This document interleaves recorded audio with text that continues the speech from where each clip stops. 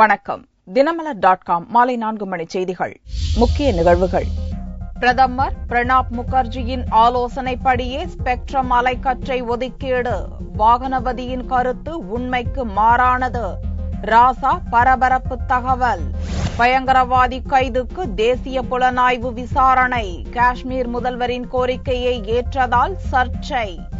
இலங்கை விவகாரத்தில் தொடரும் போராட்டங்கள். ராஜபக்சேவை போர்க்குற்றவாளியாக அறிவிக்க கோரிக்கை. விரிவான செய்திகள்.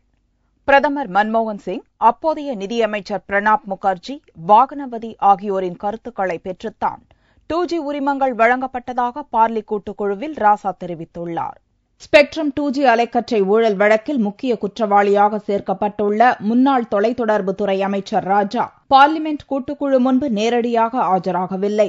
ஆனால் பார்லி கூட்டுக்குழு அனுப்பிய கேள்விகளுக்கு பதினேழு பக்கத்துக்கு பதில் அனுப்பியுள்ளார். அதில் இரண்டாயிரத்து ஏழு நவம்பர் இரண்டாம் தேதி தொலைத்தொடர்புத்துறை குறித்த பல்வேறு பிரச்சினைகள் குறித்து பிரதமரிடம் ஆலோசனை நடத்தியதாகவும் அவர் ஒப்புதலின் பேரில் அப்போது வெளியுறவுத்துறை அமைச்சராக இருந்த பிரணாப் முகர்ஜியுடன் ஆலோசித்ததாகவும் குறிப்பிட்டுள்ளார்.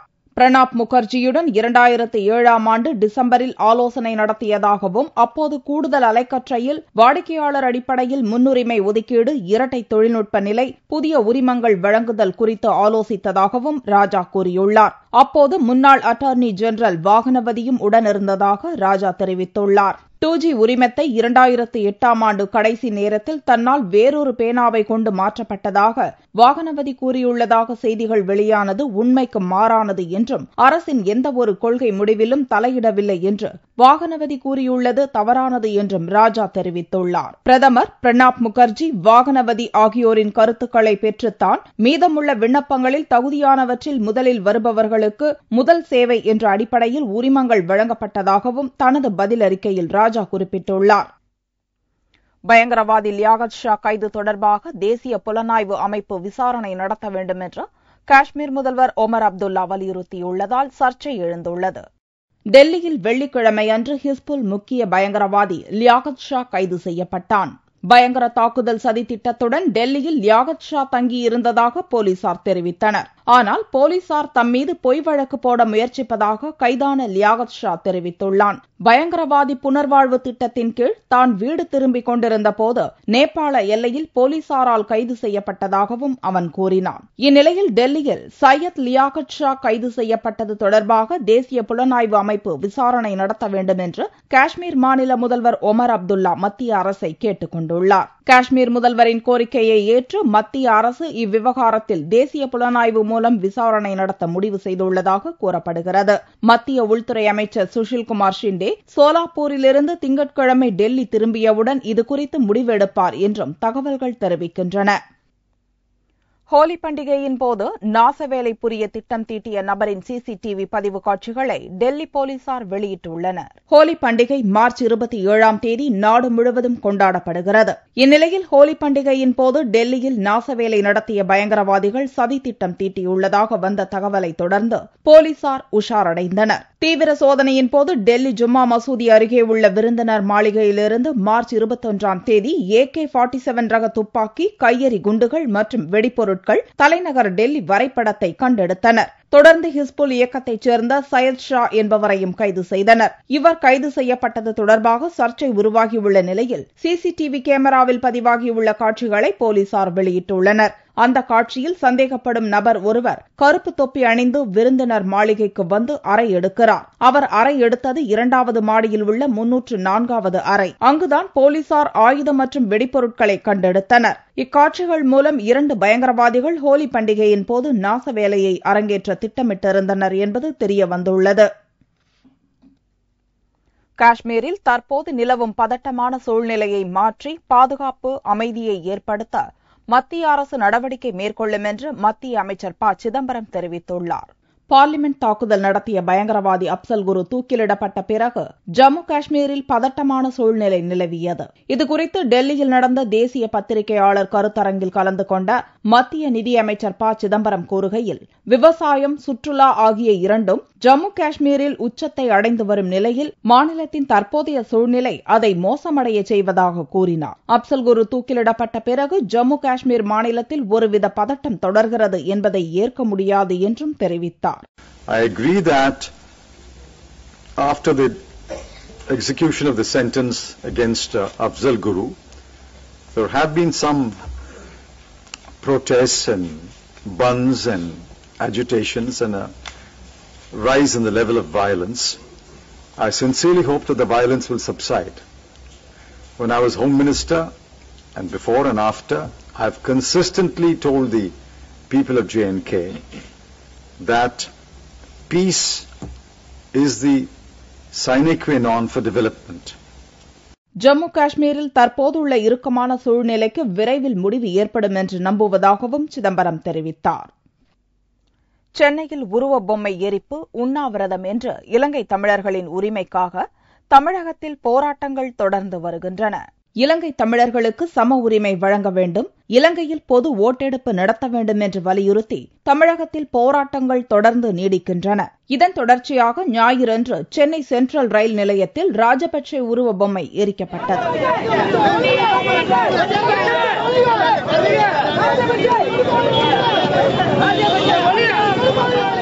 இன படுகொலை புரிந்த ராஜபக்சவை போர் குற்றவாளியாக அறிவித்து அவருக்கு தகுந்த தண்டனை சட்ட ரீதியாகவும் மனு தர்ம அடிப்படையிலே அவரை தூக்கிலிட வேண்டும் என்ற கோரிக்கையை முன்வைத்து நடத்தி கொண்டு இருக்கிறது என்பதை தருணத்தை சொல்லிக்கொள்ள கடமைப்பட்டிருக்கிறேன். சென்னை தவிர பிற மாவட்டங்களிலும் போராட்டங்கள் வலுத்து வருகின்றன. திண்டுக்கல் மாவட்டம் வத்தலகுண்டு ஆட்டோ ஓட்டுநர்கள் ஆட்டோ ஓட்டாமல் ஒரு நாள் அடையாள உண்ணாவிரதத்தில் ஈடுபட்டனர். தமிழர்களை படுகொலை செய்த ராஜபக்சேயினுடைய கொடுங்கோல் ஆட்சியை இந்த அரசு கண்டும் காணாமல் இருப்பதை கண்டித்தும் தேசிய கூண்டிலே இந்த ராஜபக்சேவை கைது செய்ய வேண்டும் என்று நிறுத்த வேண்டும் என்று சொல்லி தூக்கிலிட வேண்டும் சொல்லி இன்றைக்கு ஆட்டோ சங்கத்தின் சார்பாக நாங்கள் தொடர் உண்ணாவிரதம் இலங்கையில் நடத்தப்பட்ட இனப்படுகொலைக்கு காரணமான ராஜபக்சேவை போர்க்குற்றவாளியாக அறிவிக்க இந்தியா முன்வர வேண்டும் என்று வலியுறுத்தும் போராட்டங்கள் தீவிரமடைந்துள்ளன. குருத்தோலை ஞாயிறு தினத்தை முன்னிட்டு உலகம் முழுவதும் உள்ள கிறிஸ்தவர்கள் கையில் குருத்தோலை ஏந்தியபடி பவனி வந்தனர்.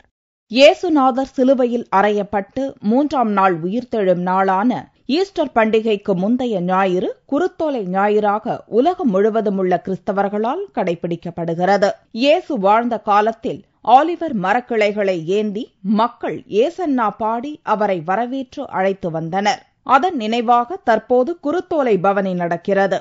நாகர்கோவிலில் உள்ள கிறிஸ்தவ தேவாலயங்களில் நடந்த குருத்தோலை ஊர்வலத்தில் பிஷப்புகள் பங்கு தந்தையர்கள் குழந்தைகள் முதல் பெரியவர் வரை அனைவரும் குருத்தோலை ஏந்தி வந்தனர். இறைமகன் இயேசு இந்த உலகத்தை மீட்டெடுப்பதற்காக வெற்றி வீரராக எருசலேமுக்குள் நுழைந்து தன்னை முழுவதுமாக இழந்தார் என்பதைத்தான் இன்றைய நாள் நமக்கு நினைவுபடுத்துகின்றது. ஆண்டவரே எங்களை மீட்டருளும் எங்களை காப்பாற்றும். ஓசனா என்று பாடி இறைமக்கள் எல்லோரும் பவனியாக இன்றைய தினம் குருத்தோலைகளை தங்கள் கையில் ஏந்தி வந்து கொண்டிருக்கிறார்கள். திருவாரூரில் உள்ள புனித பாத்திமா அன்னை பேராலயத்தில் குருத்தோலை ஞாயிறை முன்னிட்டு திருவாரூர் தெற்கு வீதியிலிருந்து புறப்பட்ட குருத்தோலை பவனி கீழ வீதி வழியாக வந்து புனித அன்னை பேராலயத்தில் முடிவுற்றது. உலக காசநோய் தினத்தை முன்னிட்டு நாடு முழுவதும் விழிப்புணர்வு முகாம்கள் நடத்தப்பட்டன. உலக காசநோய் தினம் ஆண்டுதோறும் மார்ச் இருபத்தி நான்காம் தேதி அனுசரிக்கப்படுகிறது. உயிர்கொல்லி நோயாக விளங்கும் காசநோய்க்கு எதிராக பல்வேறு விழிப்புணர்வு பிரச்சாரங்களை சுகாதாரத்துறையினர் ஞாயிறன்று மேற்கொண்டனர். காற்றில் பரவும் காசநோய்க்கு ஐந்தாயிரம் பேர் நாள்தோறும் பாதிக்கப்படுவதாக மருத்துவர்கள் தெரிவிக்கின்றனர். உலக காசநோய் தினத்தின் மூலம் நோய் குறித்த விழிப்புணர்வு மற்றும் இந்நோயை அடியோடு ஒழிக்கும் முயற்சியும் அவசியம் என்று மருத்துவர்கள் தெரிவித்தனர். 24th of March is being we we, sell, we, we, we it's an initiative for us to make the public aware, the physicians aware, the doctors aware, the society aware that on this day uh, we, uh, we, we we reaffirm that we are going to uh, eradicate uh, TB and we are going to increase our steps towards controlling TB. On the same day in 1882, uh, Dr. Robert Cox he uh, invented he found out this uh, disclosed about uh, microbial tuberculosis. காசநோயை தடுக்க தேசிய காசநோய் கட்டுப்பாட்டு திட்டத்தை மத்திய அரசு துவக்கியுள்ளது இதில் பரிசோதனை சிகிச்சை அனைத்தும் இலவசம். இதை மக்கள் பயன்படுத்திக் கொண்டு காசநோயை தடுக்க முன்வர வேண்டும் என்றும் டாக்டர் சாப்ரா தெரிவித்தார். உலக காசநோய் தினத்தையொட்டி ஜனாதிபதி பிரணாப் முகர்ஜி வெளியிட்டுள்ள அறிக்கையில் காசநோய் பரவி வருவது கவலை அளிக்கிறது என்றும் இந்நோயை ஒழிக்க அனைவரும் இணைந்து போராட வேண்டும் என்றும் கேட்டுக் கொண்டார். கோவையில் துவங்கியுள்ள தாய்லாந்து உணவு திருவிழா உணவு பிரியர்களிடம் வரவேற்பை பெற்றுள்ளது. கோவை அவினாசி சாலையில் உள்ள தனியார் விடுதியில் தாய்லாந்து நாட்டின் பாரம்பரிய உணவு திருவிழா துவங்கியுள்ளது. தாய்லாந்து நாட்டின் சிறப்பு காய்கறிகள் பழங்கள் சமையல் பொருட்கள் ஆகியன விற்பனை மற்றும் கண்காட்சிக்காக வைக்கப்பட்டிருந்தன. தாய்லாந்து நாட்டின் பாரம்பரியமிக்க சிறப்பு தாய் ஸ்டைல் கிளில் பத்தாய்க்காய் நூடுல்ஸ் உள்ளிட்ட பல்வேறு உணவு வகைகள் தாய்லாந்து முறைப்படி சமைத்து வைக்கப்பட்டிருந்தன. தாய்லாந்து ஃபுட் ஃபெஸ்டிவல் அப்படின்ற ஒரு ஒரு உணவு திருவிழா நடத்திட்டு இருக்கோம். இப்போ இந்த உணவு திருவிழாவில் தாய்லாந்துலேருந்து அனைத்து வகையான உணவுப் பொருட்களை இறக்குமதி செஞ்சு கோயம்புத்தூர் மக்களுக்கு எவ்வளோ சிறப்பாக இந்த விருந்தோம்பலை கொடுக்க முடியுமோ அவ்வளோ சிறப்பாக கொடுக்கணுன்ற ஒரே நோக்கத்தோடு நாங்கள் இதை பண்ணிட்டு இருக்கோம். இதில் வந்த இன்னையிலேருந்து இருபத்தி ரெண்டாம் தேதி மார்ச்லேருந்து வர இருபத்தி ஒன்பதாம் தேதி மார்ச் வரைக்கும் இந்த உணவு திருவிழா நடக்குது. ஸோ இதில் அனைத்து வகையான உணவுகளும் ட்ரெடிஷ்னல் முறையில் தாய்லாந்தில் எப்படி குக் பண்ணி அந்த உணவு கலாச்சார முறை இருக்கோ அதே மாதிரி நம்ம கோயம்புத்தூர் மக்களுக்கு இந்த உணவு கொடுக்கணுன்ற ஒரே நோக்கத்தோட இந்த ஃபெஸ்டிவல் நடந்துட்டு இருக்கு. சமைப்பதில் மட்டுமின்றி பரிமாறுவதிலும் தாய்லாந்து நாட்டின் பாரம்பரியம் கடைபிடிக்கப்பட்டது. இந்த உணவு திருவிழா வரும் இருபத்தொன்பதாம் தேதி வரை நடக்கிறது. கிருஷ்ணகிரி அருகே மர்மமான முறையில் பசு மாடுகள் இறந்து போவதைக் கண்டு பொதுமக்கள் அதிர்ச்சி அடைந்துள்ளனர். கிருஷ்ணகிரி அருகே உள்ள சோலையன்கொட்டாய் கிராமத்தில் நூற்றுக்கும் மேற்பட்ட குடும்பத்தினர் வசித்து வருகின்றனர். இவர்களின் பிரதான தொழில் மாடுகள் வளர்த்து பால் விற்பதுதான். இந்நிலையில் கடந்த ஓராண்டுகளாக இந்த ஊரில் திடீர் திடீரென பசுமாடுகள் இறந்து போகின்றன. ஞாயிற்றுக்கிழமை காலை சின்னையா என்பவரது பசுமாடு திடீரென இறந்தது. கடந்த ஓராண்டு காலமாக அறுபத்தைந்து மாடுகள் மர்மமாக இறந்து போயுள்ளதாக பொதுமக்கள் தெரிவித்தனர். தொடர்ந்து ஒரு வருடமா வந்து அறுபது மாடுக்கு மேல செத்துருச்சு. இன்னைக்கு காலையில வந்து நல்லபடியா மாடு கரைஞ்சி பால் கறந்து பாலும் வந்து பால் ஊத்துனாங்க. இந்த இந்த கிராமத்தை சேர்ந்த இந்த ஊரை சேர்ந்த லட்சுமி தான் அந்த மாடு. அவங்க வந்து இதை நம்பி தான் தங்கம் கட்டுவாங்க சீட்டு கட்டுவாங்க பசங்களை படிப்பு வைப்பாங்க. அவங்க இதை நம்பி தான் வாழ்ந்துருந்தாங்க. குளிப்பி குடிக்கும்போது குடிச்ச உடனே மாடு வந்து உடம்பு அதிர்ச்சாச்சு உடனே வயிறு வீக்காய் கீழே விழுந்து இறந்து போச்சு. டாக்டருக்கு தகவல் கொடுத்து டாக்டர் வந்து பார்த்தாங்க. மாடு வந்து போஸ்ட்மார்ட்டம் பண்ணிட்டு அவங்க எந்த ரிப்போர்ட்டுமே கொடுக்கல போயிட்டாங்க. இறந்த மாடுகளை கால்நடை மருத்துவர்கள் பிரேத பரிசோதனை செய்தாலும் இறப்பு அறிக்கை தராததால் அவ்வூர் பொதுமக்கள் கடும் அதிர்ச்சியில் உறைந்துள்ளனர். வெயிலின் தாக்கத்தால் மாம்பிஞ்சுகள் உதிர்ந்து வருகிறது. இதனால் கிருஷ்ணகிரி மாவட்டத்தில் விவசாயிகள் கவலையடைந்துள்ளனர். கிருஷ்ணகிரி மாவட்டத்தில் பல ஆயிரம் ஏக்கரில் மா சாகுபடி செய்துள்ளனர். இங்கு மல்கோவா செந்தூரா பங்கனப்பள்ளி போன்ற பல்வேறு சுவை மிகுந்த மாம்பழங்கள் விளைகின்றன. கிருஷ்ணகிரியில் உற்பத்தியாகும் மாம்பழங்கள் மாநிலத்தின் பல்வேறு பகுதிகளுக்கும் ஏற்றுமதி செய்யப்பட்டு வருகிறது. இந்நிலையில் இந்த ஆண்டு மாமரத்தில் பூக்கள் குறைந்த அளவே பூத்துள்ளது. கடந்த சில மாதங்களாக ஏற்பட்ட பனியால் ஏராளமான பூக்கள் கருகின. அதையும் தாண்டி மாம்பிஞ்சுகள் காய்க்க துவங்கியது. ஆனால் தற்போது நிலவும் வெப்பத்தின் தாக்கத்தால் மாம்பிஞ்சுகள் உதிர்ந்து வருகின்றன. இதனால் விவசாயிகள் கவலையடைந்துள்ளனர். நம்ம ஏரியாவில் வந்து முதல்ல வந்து மாசில நல்ல பூ பூ பூத்து இருந்துச்சு இப்போ வந்து பூவே வந்து எல்லாம் போ கறி கீழே விழுந்து போச்சு. ரெண்டாவது வந்து பிஞ்சு வந்து வந்தது இப்போ அரைக்குறை பிஞ்சு இருந்தது கூட வந்து எல்லாம் பூரா உதிர்ந்து கீழே தான் இப்போ விழுந்துனுக்குது பார்த்துக்கடியில் முன்னாண்டை விட இந்த ஆண்டு வந்து ரொம்ப கம்மியாக இருக்குது மகசூலே எதுவும் வரதில்லை வறட்சி அதிகம். வெயில் ஒன்றும் பண்ண முடியல.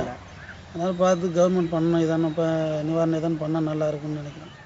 பனி மற்றும் வெப்பத்தால் மாம்பூக்கள் மற்றும் மாம்பிஞ்சுகள் உதிர்ந்து வருவதால் இந்த ஆண்டு மாம்பழத்தின் விளைச்சல் வெகுவாக குறையும் சூழல் உருவாகியுள்ளது. தங்கத்தின் விலையில் ஞாயிறன்று மாற்றமில்லை. ஒரு சவரன் தங்கம் இருபத்தி இரண்டாயிரத்து நானூற்று எட்டு ரூபாய்க்கு விற்பனையானது. ஒரு கிராம் ஆபரண தங்கம் இரண்டாயிரத்து எண்ணூற்று ஒரு ரூபாயாக இருந்தது. வெள்ளி ஒரு கிராம் ஐம்பத்தி ஏழு ரூபாய் எண்பது காசுகளுக்கு விற்பனையானது. பார்வெள்ளியின் விலை ஐம்பத்து நான்காயிரத்து பதினைந்து ரூபாயாக இருந்தது. வலங்கைமான் மகா மாரியம்மன் கோவிலில் பாடைக்காவடி எடுத்து பக்தர்கள் தங்கள் நேர்த்தி கடனை செலுத்தினர். திருவாரூர் மாவட்டம் வலங்கைமான் மகா மாரியம்மன் திருக்கோவில் புகழ்பெற்றதாகும் நோய்வாய்ப்பட்டு மருத்துவர்களால் கைவிடப்பட்ட நிலையிலும் தங்களது நோய் குணமடைய வலங்கைமான் மகா மாரியம்மனுக்கு பாடை காவடி எடுப்பதாக பக்தர்கள் வேண்டிக் கொள்வர். தங்களது பிரார்த்தனை நிறைவேறிய பிறகு அம்மனுக்கு பாடை காவடி எடுப்பது வழக்கம். பங்குனி திருவிழாவை முன்னிட்டு ஞாயிற்றுக்கிழமை காலை முதல் ஆயிரக்கணக்கான பக்தர்கள் மகா மாரியம்மனுக்கு பாடை காவடி ரதக் காவடி அலகு காவடி பால்குடம் எடுத்து தங்களது நேர்த்திக் கடனை செலுத்தினர். அருள்மிகு சீதலா தேவி என்கிற மகாமாரியம்மனுக்கு பாடக்காவடி திருவிழாவானது நடைபெற்று வருகிறது.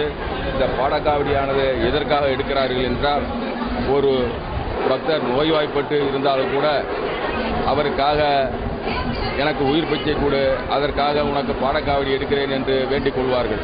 பாடைக்காவடி எடுக்கும் பக்தர்கள் ஒரு வாரம் அம்மனை வேண்டி கடும் விரதம் இருப்பர். பின்னர் இறந்த ஒருவருக்கு சடங்கு செய்து பாடை கட்டி இறுதி சடங்கு செய்வது போன்று பாடைக்காவடி எடுத்து பக்தர்கள் தங்களது நேர்த்திக் கடனை செலுத்துகின்றனர்.